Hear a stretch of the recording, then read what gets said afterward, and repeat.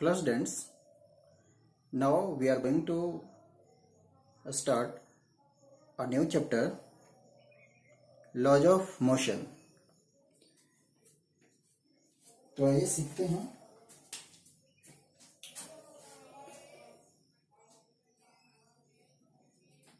इसके पहले आपने जो पढ़े थे वो था kinematics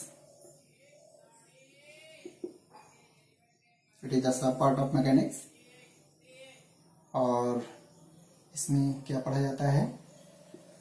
Study of motion with knowing the sorry without knowing the cause of motion cause of motion means motion हो रहा है बट क्यों हो रहा है, इसके बारे में हम नहीं पढ़ते। है ना? मोशन के बारे में पढ़ते हैं बट मोशन का कॉज क्या है, हम इसके बारे में नहीं पढ़ते। तो ये पार्ट कैनामेटिक्स कहलाता है, जो अभी आपने सीख चुके हैं। अब जो पढ़ने जा रहे हैं, वो है डायनामिक्स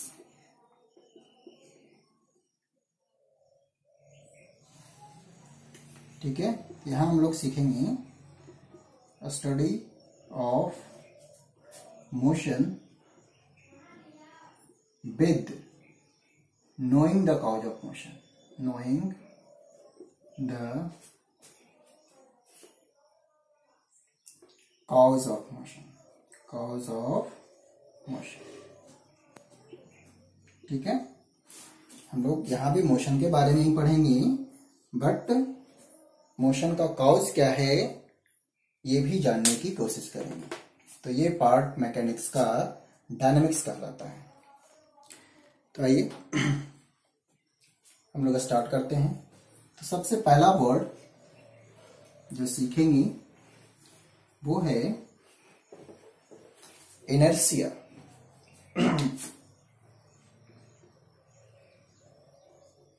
इनर्शिया इसे आप लिख सकते हैं resistance to change resistance to change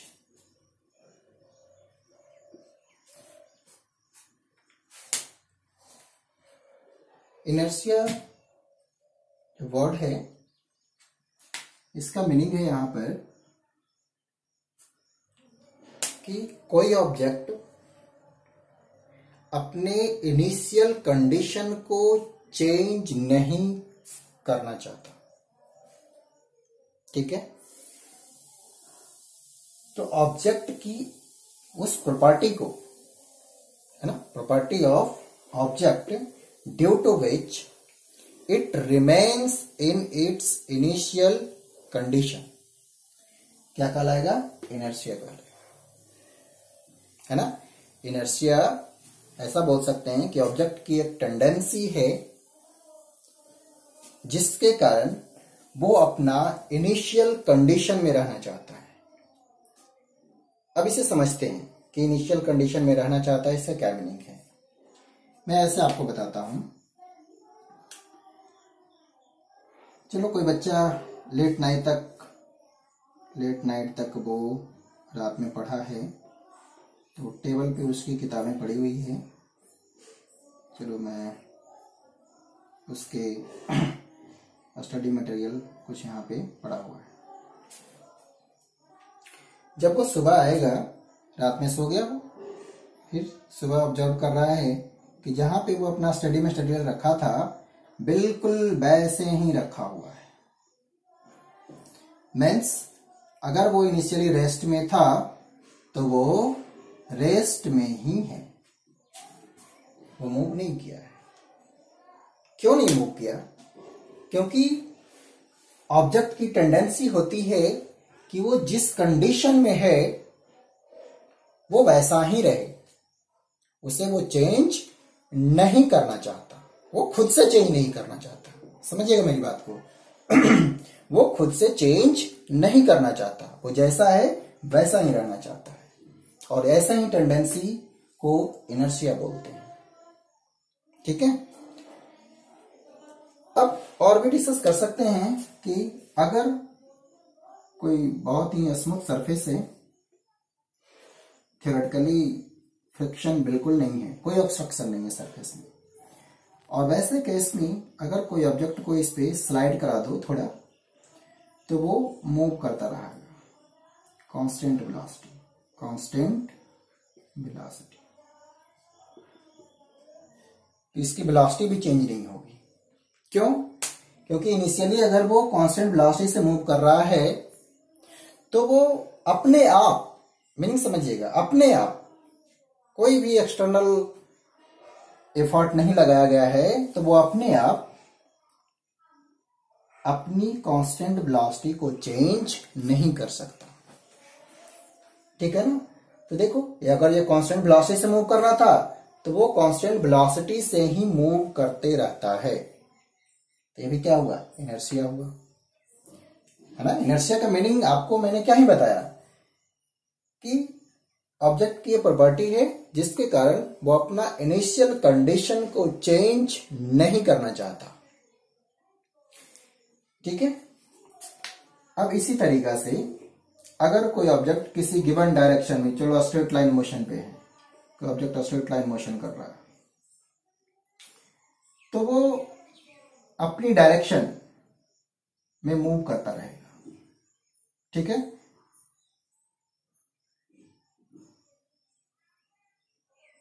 Moving in fix direction fix direction वो अपनी डायरेक्शन भी चेंज नहीं करना चाहेगा, अपने आप। मीनिंग समझिएगा, मैं आपको बताना ये चाह रहा हूँ कि कोई भी ऑब्जेक्ट अपने आप अपना इनिशियल कंडीशन चेंज नहीं करना चाहता और ऑब्जेक्ट की ऐसी टेंडेंसी को इनर्सिया बोलते हैं। मीन्स कोई ऑब्जेक्ट अगर रेस्ट में है तो वो रेस्ट में ही रहना चाहेगा। मैंने आपको एग्ज़ाम्पल बताया कि आपने बुक को टेबल पे रख दिए हैं रात में तो सुबह वो अपने आप नहीं मूव कर सकती। सुबह देखोगे तो वैसे ही टेबल पे रखा रहेगा, जैसे आपने रात में छोड़े थे। क्यों? क्योंकि इसकी टेंडेंसी है कि वो अपने आप, अपना इनिशियल कंडीशन चेंज नहीं करेगा। इनिशियली वो रेस्ट में था तो वो रेस्ट में ही रहेगा। अगर कोई ऑब्जेक्ट कांस्टेंट वेलोसिटी से मूव कर रहा है तो अपने आप रुक नहीं सकता। वो कांस्टेंट वेलोसिटी से मूव करता रहेगा। क्यों? क्योंकि ऑब्जेक्ट की ये टेंडेंसी होती है कि वो अपना इनिशियल कंडीशन को मेंटेन रखे। वो अपने आप चेंज नहीं करना चाहता। उसी तरीका से किसी गिवन डायरेक्शन में अगर जो आप कोई ऑब्जेक्ट है तो वो उसी डायरेक्शन में मूव करता रहेगा। वो अपनी डायरेक्शन भी चेंज नहीं कर सकता। अपने आप। वर्ड को ध्यान से सुनिएगा, मैं ये सारी चीज़ें जो बोल रहा हूँ कि वो इनिशियल कंडीशन को मेंटेन करके रखना चाहता है, वो चेंज नहीं करना चाहता अपने आप। खुद से वो चेंज नहीं करना चाहता। अगर कोई एक्सटर्नल फैक्टर नहीं है तो वो अपना इनिशियल कंडीशन को मेंटेन रखेगा। ठीक है ना? और ये क्या कहलाता है? इनर्सिया है ना? Tendency of object due to which it remains in its initial condition ठीक है? आप इसे आराम से नोट कर लेना। अब इसे मैं कैटेगराइज करता हूँ। इनर्सिया को इस तरीका से डिवाइड करते हैं।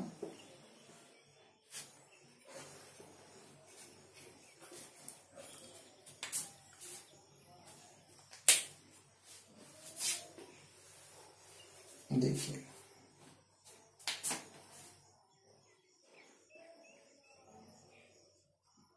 Inertia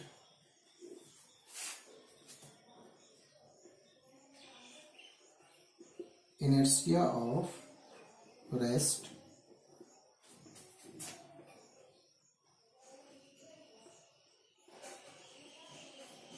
inertia of motion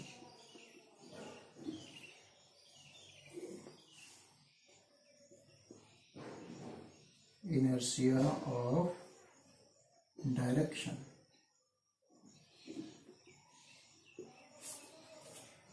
हमने इनर्सिया को सब पार्ट में डिवाइड किया है। यानी कि टाइप्स ऑफ़ इनर्सिया बोला जाए तो हम लोग पढ़ेंगे inertia of rest inertia of motion inertia of direction तो आइए जानते हैं इनर्शिया ऑफ़ रेस्ट क्या है। मीन्स जब कोई ऑब्जेक्ट रेस्ट कंडीशन में होगा, ठीक है ना तो वो रेस्ट में ही रहना चाहेगा समझना मेरी बात को। अगर कोई ऑब्जेक्ट रेस्ट में है तो वो रेस्ट में ही रहना चाहेगा। अपने आप वो रेस्ट कंडीशन को चेंज नहीं करेगा। तो ये कहलाएगा इनर्सिया ऑफ़ रेस्ट मैंने उसे रेस्ट में रहने की इनर्सिया है। रेस्ट में रहने की इनर्सिया क्या मीनिंग होगा? तो अपना रेस्ट कंडीशन वो चेंज नहीं करना चाहता। अब वो अपने आप चेंज नहीं करेगा। In the same way inertia of motion means कोई ऑब्जेक्ट अगर कांस्टेंट वेलोसिटी से मूव कर रही है तो वो कांस्टेंट वेलोसिटी से मूव करती रहेगी। वो अपने आप अपनी कांस्टेंट वेलोसिटी को चेंज नहीं करेगी। मीन्स मोशन में है तो वो कांस्टेंट वेलोसिटी से मोशन में ही रहेगा। तो ये कहलाएगा इनर्सिया ऑफ़ मोशन और मैं बात कर लू इनर्सिया ऑफ़ डायरेक्शन क्या होगा? तो अगर कोई ऑब्जेक्ट एक गिवन डायरेक्शन में है तो वो अपनी डायरेक्शन भी चेंज नहीं कर सकता अपने आप। तो ये कहलाएगा इनर्सिया ऑफ़ डायरेक्शन है ना? यानी कि डायरेक्शन नहीं चेंज करने की inertia inertia of direction motion नहीं चेंज करने की direct inertia inertia of motion rest नहीं चेंज करने की टेंडेंसी तो ये कहलाएगा इनर्सिया ऑफ़ रेस्ट अब इसे क्लियर करते हैं एक एग्ज़ाम्पल से। सुनिएगा। एक एग्जांपल लेता हूँ कि कोई ऑब्जेक्ट या ऐसा लेते हैं ना, सबसे आसान। ये आपने नाइन्थ में पढ़े भी होंगे। एक बस है और यहाँ पैसेंजर है। यहाँ बिठा दो पैसेंजर को। चलो, ऐसा वाला सीट था। और बेचारा पैसेंजर ऐसे बैठा हुआ है। ठीक है? और बड़ा बनाते हैं, बस बस छोटी हो गई।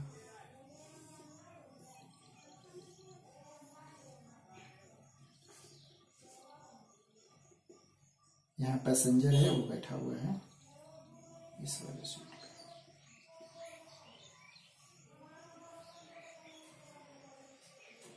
पैसेंजर बैठा हुआ जैसे ही गाड़ी स्टार्ट होती है, समझना इस बात को।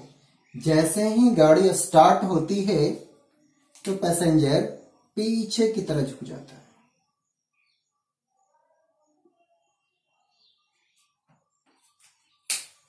आप इसे ये कॉमन प्रैक्टिस की बात है। आप करके देख लेना, जब बस में बैठते हो ऑब्ज़र्व करना, जैसे ही बस स्टार्ट होती है कोई पर्सन जो बैठा हुआ है सीट पर, वो पीछे की तरफ़ झुक जाता है। किसी चीज़ को वो नहीं पकड़े हुए, बिल्कुल ऐसे बैठा हुआ था। तो जैसे ही बस स्टार्ट हुई, है ना, वो ऐसे पीछे की तरह झुक जाता है। ऐसा क्यों हुआ? It is the example of inertia of rest क्यों हुआ? अब इस एक्सप्लेनेशन को सुनिए। जब ऑब्जेक्ट रेस्ट में था अभी बस भी रेस्ट में है ऑब्जेक्ट भी रेस्ट में है, यानी ये पर्सन भी रेस्ट में है। होता क्या है कि ये जो नीचे का पोर्शन है सीट के साथ जो पोर्शन है तो जैसे ही बस स्टार्ट होती है तो है क्या? पहले ये रेस्ट में है, पूरा इसका बॉडी रेस्ट में है तो वो रेस्ट में ही रहना चाहेगा। बट जैसे ही बस स्टार्ट होती है, ये पोर्शन मूव करने लगता है। तो पर्सन का जो हाफ़ पोर्शन है, वो सीट के साथ वो भी मूव करने लगता है। बट जो ऊपर वाला पोर्शन है, वो क्या ही चाह रहा है कि पहले रेस्ट में था तो वो रेस्ट में ही रहे। तो हुआ ये कि ये पोर्शन यही रहना चाहता है और नीचे वाला पोर्शन निकल गया। देखो ये वाला पार्ट यही रहना चाहता है और नीचे वाला पोर्शन जो सीट के साथ है, वो आगे बढ़ना चाहता है। तो जब आगे बढ़ेगा तो ऊपर वाला चीज़ को नहीं लगेगा कि इसके रेस्पेक्ट में पीछे चला गया। एक्चुअली जो इसका ऊपर का पोर्शन है, वो अपने प्लेस पे ही रहना चाह रहा है। बट नीचे का पोर्शन मूव कर गया तो हमें लगा कि पर्सन पीछे की तरह झुक गया है। तो ये किसका एग्ज़ाम्पल है? इनर्सिया ऑफ़ रेस्ट का। क्योंकि वो रेस्ट में रहना चाहता है और इसका नीचे का पोर्शन जैसे ही आगे बढ़ा, पीछे आ गया वो। तो ये एग्ज़ाम्पल हो गया इनर्सिया ऑफ़ रेस्ट का। आपके पास ऑब्जेक्टिव क्वेश्चन आ सकते हैं कि जब बस स्टार्ट होती है तो पैसेंजर पीछे की तरह झुक जाता है। ये किस इनर्सिया का एग्ज़ाम्पल है? यानी किस टाइप ऑफ़ इनर्सिया है? तो आपका आंसर होगा it is the inertia of rest question फिर से सुनो। जब बस स्टार्ट होती है तो पैसेंजर पीछे की तरफ़ झुक जाता है। ये किस टाइप का इनर्सिया है? तो आंसर है इनर्सिया ऑफ़ रेस्ट और एक्सप्लेनेशन है कि जब बस स्टार्ट होती है तो सीट के साथ जो पोर्शन है पर्सन का, वो तो मूव कर जाता है बट ऊपर वाला अभी भी अपने पोजीशन पे रहना चाहता है। तो वैसे केसेस में ये पोर्शन देखो, ऐसे मूव कर गया ऊपर वाला यही रहना चाह रहा है। तो हम यहाँ से देखते हैं तो क्या ही लग रहा है कि नहीं, जो पर्सन है वो पीछे की तरफ़ झुक गया है। एक्चुअली वो वही है। इसका नीचे वाला पोर्शन आगे निकल गया है। चलिए जैसे भी आपको समझ आना चाहिए तो ये एग्जांपल होगा इनर्सिया ऑफ़ रेस्ट का। ठीक है? दूसरा, इसी में समझते हैं। इनर्सिया ऑफ़ मोशन इसका एग्ज़ाम्पल देखो। यही बस है। अभी बस स्टार्ट हुई थी तो वो चल रही है कांस्टेंट वेलोसिटी से। बस कांस्टेंट वेलोसिटी से चल रही है। पैसेंजर यहाँ बैठा हुआ है इस पे। पैसेंजर है इस पे। और बस कांस्टेंट वेलोसिटी से चल रही है। पैसेंजर इस पे बैठा हुआ है। अब जैसे ही बस में ब्रेक अप्लाई होता है। ये पर्सन जो भी बैठे हुए थे, ये आगे की तरफ़ झुक जाते हैं। आगे की तरफ़ झुक जाते हैं। है ना? जैसे ही ब्रेक अप्लाई हुआ पर्सन आगे की तरफ़ झुक गया। आप भी देखते हैं, आप बाइक चला रहे हो तो जैसे ही आप ब्रेक लगाओ, आपको फील होता है कि आप आगे की तरफ़ लीन हो गए। ऐसा क्यों हुआ? क्योंकि, अब देखो, यहाँ पर एक्सप्लेन करता हूँ। जैसे ही बस स्टॉप हुआ तो इस पर्सन का जो नीचे वाला पोर्शन है, जो सीट के साथ है, वो बस के साथ स्टॉप हो गया। बट जो ऊपर का पोर्शन है, जो थोड़ा फ्लेक्सिबल है है ना? तो जो ऊपर का पोर्शन है, इसके कमर से ऊपर का जो पोर्शन है, वो अभी भी मोशन में ही रहना चाह रहा था। बट नीचे वाले ने धोखा दे दिया, वो तुरंत स्टॉप हो गया है। तो इस केस में ऊपर वाला मोशन में रहना चाह रहा था, नीचे वाला स्टॉप हो गया तो नीचे के रेस्पेक्ट में क्या ही लगा? कि ऊपर वाला जो पोर्शन है, या बोले कि पर्सन आगे की तरफ़ झुक गया है। समझ आ रही चीज़ें? तो पूछा जाएगा कि अगर बस में बैठा पैसेंजर बस में ब्रेक लगाने के साथ वो आगे की तरफ़ झुक जाता है तो वो कौन सा इनर्सिया है? तो आंसर होगा inertia of motion. Due to inertia of motion. आप इसे सेपरेटली अच्छी तरीके से समझिए। अगर पैसेंजर बस में ब्रेक लगाने के साथ वो आगे की तरफ़ झुक जाता है तो वो कौन सा इनर्सिया होगा? तो आंसर है इनर्सिया ऑफ़ मोशन। क्योंकि वो मोशन में था, मोशन में रहना चाह रहा था। बट बस सडनली स्टॉप हो गई तो पर्सन आगे की तरफ़ झुक जाएगा। एग्ज़ाम्पल होगा inertia of motion. In the same way अगर कोई कार एक स्ट्रेट लाइन पर मूव कर रही है तो वो अपनी डायरेक्शन चेंज नहीं करेगी अपने आप। वो स्ट्रेट लाइन पे ही मूव करती रहेगी। ठीक है? अगर कोई कार स्ट्रेट लाइन पे मूव कर रही है तो वो स्ट्रेट लाइन पे ही मूव करती रहेगी। ठीक है ना? तो ये अपनी डायरेक्शन चेंज नहीं करेगी। तो ये होगा एग्जांपल किसका? इनर्शिया ऑफ़ डायरेक्शन का। समझ गए inertia of rest inertia of motion और इनर्शिया ऑफ़ डायरेक्शन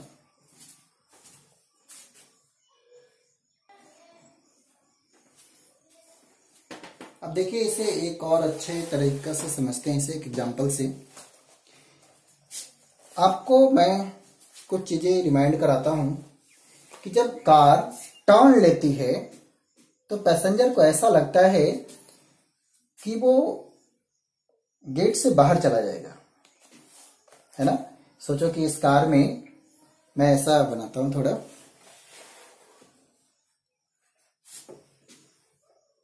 और भी आसानी से बनाते हैं इस तरह से। ऐसा कर्व है। तो अगर कार ऐसे जा रही है, और वो टर्न लेती है तो जो यहाँ पे पैसेंजर है, उसको लगता है कि वो गेट के बाहर चला जाएगा। मीन्स अगर गेट खुला रहा तो वो बाहर फेंका जाएगा। इसीलिए हम कार में गेट बंद करके रखते हैं कि कब टर्न आ जाए। तो टर्निंग के वक्त तो बिल्कुल गेट बंद होनी चाहिए। अगर आप लेफ़्ट टर्न ले रहा है, कार लेफ़्ट टर्न ले रही है, और राइट वाला पर्सन का गेट खुला है तो हो सकता है कि वो गेट से बाहर चला जाएगा, कार से बाहर चला जाएगा। देखो it is the inertia of direction वो क्या है? समझिए। हुआ यूँ कि कार के साथ में ऐसा, मैं, मेरे पास एक कॉपी है, एक पर्सन ऐसा है। ये पर्सन है इस पे। ये सोचो, कार के सीट पे एक पर्सन बैठा हुआ है। अगर कार स्ट्रेट लाइन में चल रही है तो इसकी टेंडेंसी होगी कि वो स्ट्रेट लाइन में ही चलता रहे। It is the inertia of direction आपको दिख रहा है ना? इस तरह से स्ट्रेट लाइन में ही चलता रहे। जब कार सडनली एक टर्न लेती है तो उस टाइम पे क्या होता है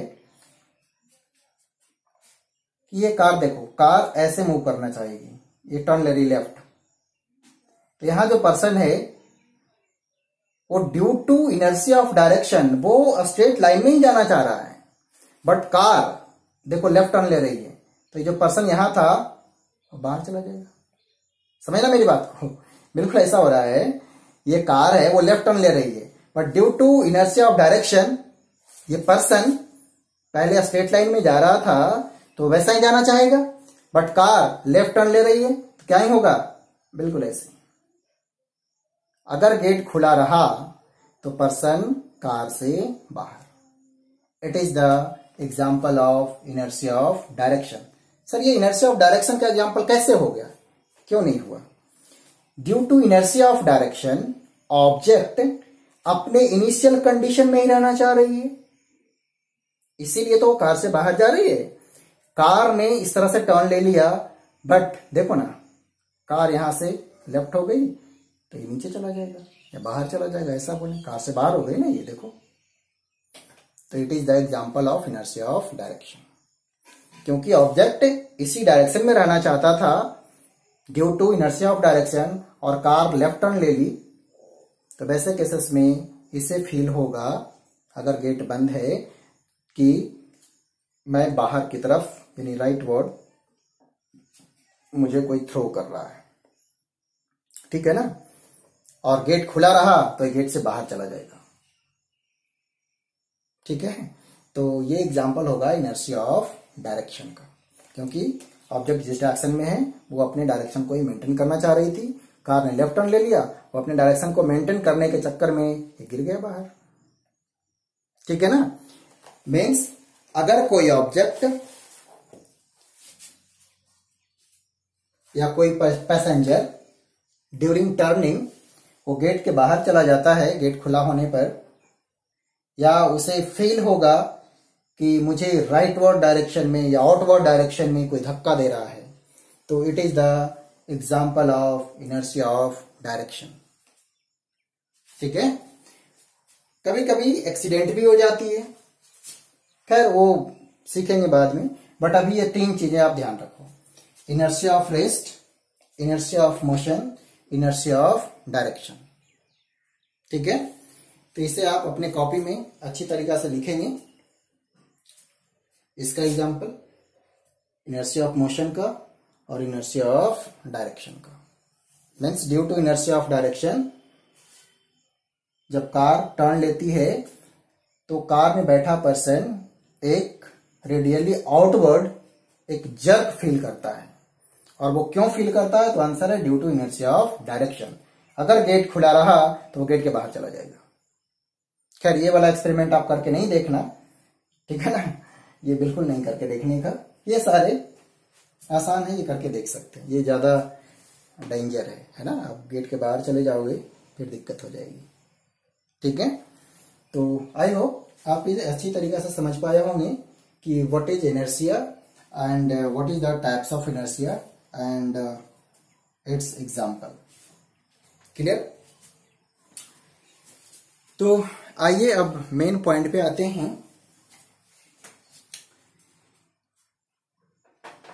अब एक चीज़ समझिए, जो मैंने बताया कि कोई ऑब्जेक्ट अपने इनिशियल कंडीशन में ही रहना चाहता है और ऑब्जेक्ट की ऐसी टेंडेंसी को इनर्सिया बोलते हैं। और आप डेली लाइफ में देख रहे हैं कि जो ऑब्जेक्ट रेस्ट में है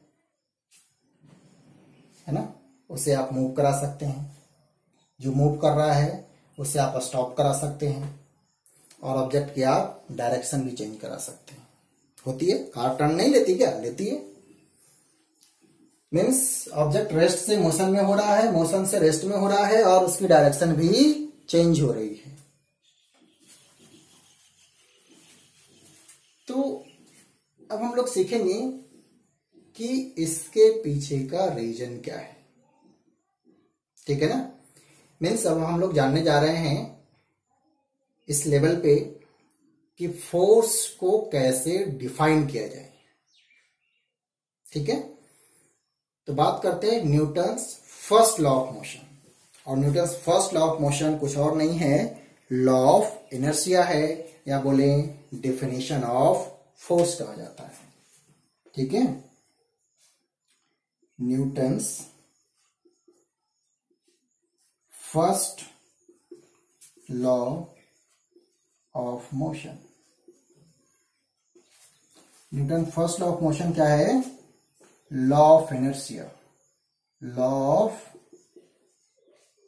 inertia ठीक है? या बोले it defines the force it defines the force ये फोर्स को डिफाइन करती है। आइए हम लोग बात करते हैं इस पॉइंट पे। अब आपसे पूछा जाए, आपने फोर्स का definition class six seven eight सब में पढ़े हैं प्रीवियस क्लासेस में पढ़ चुके हैं बट अब देखते हैं कि फोर्स को एक और नई तरीके से कैसे बताएँ। तो देखिए according to Newton's first law of motion object अपनी इनिशियल कंडीशन को तब तक नहीं चेंज करती, जब तक उस पर कोई फोर्स नहीं लगता। या, ऐसे बोल सकते हैं कि फोर्स वो फैक्टर है जो ऑब्जेक्ट को रेस्ट से मोशन मोशन से रेस्ट और डायरेक्शन चेंज कर सकती है। अब पूछा जाए इस लेवल पे कि आप मुझे बताएँ कि what is the definition of force तो आप बोल सकते हैं कि ड्यू टू फोर्स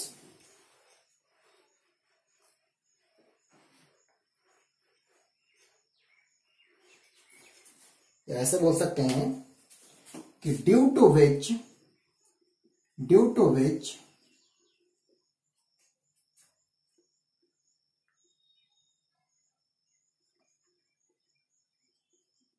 object जो है वो क्या? रेस्ट मोशन मोशन रेस्ट और इट कैन चेंज डायरेक्शन। समझना?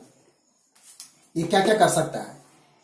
ड्यू टू विच कोई ऑब्जेक्ट रेस्ट से मोशन में हो सकती है मोशन से रेस्ट में हो सकती है, और ऑब्जेक्ट का डायरेक्शन चेंज हो सकता है। तो जो इन सब काम को कर सकता है, वही फोर्स है। पूछा जाए कि व्हाट इज़ फोर्स तो बोलेंगे due to that object rest से मोशन में आ जाए, या मोशन से रेस्ट में आ जाए, या उसकी डायरेक्शन चेंज हो जाए। ठीक है ना? तो इन सब काम को जो कर सकता है, वो कुछ और नहीं है, वही फोर्स है। समझ आ रहा?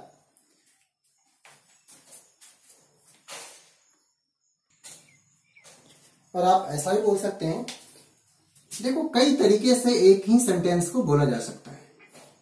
मैं इसे ऐसा भी बोल सकता हूँ कि object is in initial condition unless net force on the object is zero means अगर ऑब्जेक्ट पे कोई फोर्स नहीं लग रहा है तो वो अपने इनिशियल कंडीशन में होगा।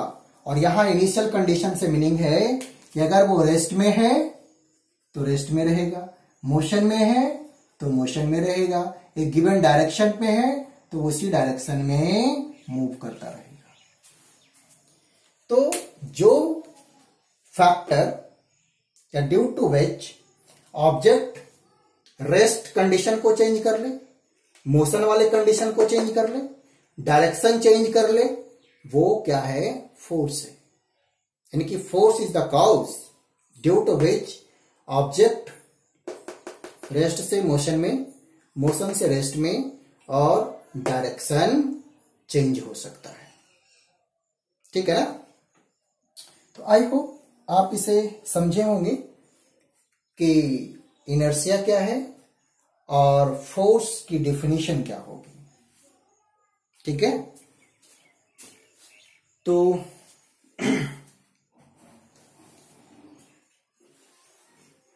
ये सारी चीज़ें थोड़ी बारीकी से आपको समझ आए, तभी आगे की चीज़ आपको और समझ आएगा।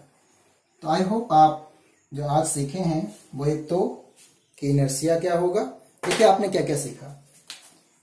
एक आपने सीखी इनर्सिया क्या होगा, फिर टाइप्स ऑफ़ इनर्सिया ठीक है ना? और फिर आपने सीखे Newton's first law of motion first law of motion क्या हुआ डेफिनेशन अगर कोई ऑब्जेक्ट रेस्ट में है तो वो रेस्ट में रहेगा। कांस्टेंट वेलोसिटी से मूव कर रहा है तो कांस्टेंट वेलोसिटी से मूव करता रहेगा। किसी गिवन डायरेक्शन में है तो वो गिवन डायरेक्शन में रहेगा। जब तक उस पर नेट फोर्स ज़ीरो है। या बोले, जब तक उस पर कोई फोर्स अप्लाई नहीं किया गया है। या बोल सकते हैं कि फोर्स वो रीजन है जिसके कारण ऑब्जेक्ट अपनी रेस्ट कंडीशन को चेंज करता है। है ना? इसको क्या बोलते हैं? Inertia of rest inertia of motion और this is the inertia of direction है ना? जो इन सबको चेंज कराता है वो क्या है? फोर्स है। ठीक है? अब मैं आपसे पूछता हूँ कि आपका ब्लेजर है या कोट है हैंगर में टंगा हुआ है, जब आप उस पर डंडा मारते हैं तो जो धूल है, जो भी डस्ट है, वो नीचे गिर जाती है। ये किस टाइप का इनर्सिया है? ठीक है? क्वेश्चन समझ आया? हैंगर में आपका कोट या ब्लेजर जो भी है, टंगा हुआ है, उस पर धूल थोड़ा जम गया है और जब उसे आप डंडा मारते हैं तो धूल नीचे गिर जाती है। आपको बताना है कि ये किस टाइप के इनर्सिया का एग्ज़ाम्पल है? इनर्सिया ऑफ़ रेस्ट है इनर्सिया ऑफ़ मोशन है या इनर्सिया ऑफ़ डायरेक्शन है। ठीक है? और आपको इसकी डेफिनेशन नोट करनी है। ठीक है? ये मैंने वर्ड में बोले हैं, आपको कॉपी में नोट करना है और फिर मुझे सेंड करना है। तो आपका जो होमवर्क रहा, कि इसे अरेंज करके लिखना है, आज कोई न्यूमेरिकल नहीं है, इसे अरेंज करके लिखना कॉपी में, और इसे लिखना। और अभी जो मैंने एक एग्ज़ाम्पल आपको बता रहा हूँ उसे एक्सप्लेन करना, है ना? कि हैंगर में एक कोट है और उस पर डंडा मारने से धूल नीचे गिरती है तो ये किस टाइप का इनर्सिया का एग्ज़ाम्पल है? ठीक है? तो बस आज इतना ही। नेक्स्ट डे हम लोग इसे आगे पढ़ेंगे। ठीक है? तो आज एक फेयर कॉपी बना लो। और इसमें ये सारे नोट करके मुझे व्हाट्सअप करो। आज बस इतना ही। ठीक है?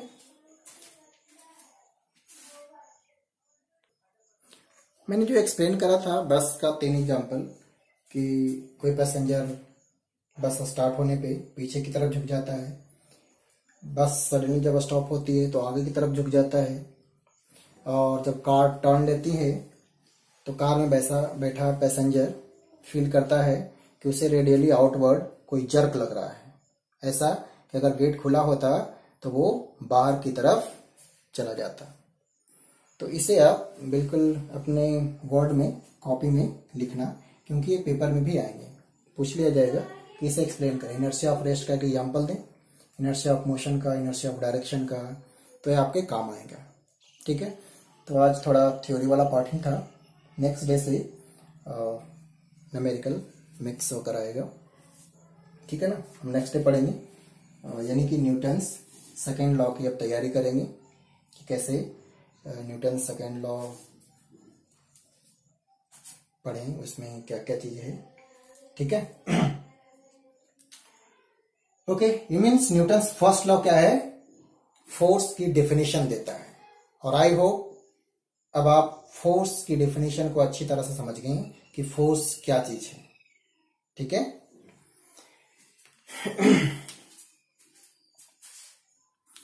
Okay okay.